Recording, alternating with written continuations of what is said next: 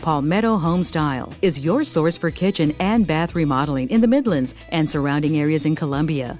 Donnie Spires and his team at Palmetto Home Style deliver quality work with honesty and integrity. We guarantee all products and labor. We are also your source for acrylic bath liners, a new and exciting product. Donnie and his wife Sherry have been in the home building industry for almost 50 years.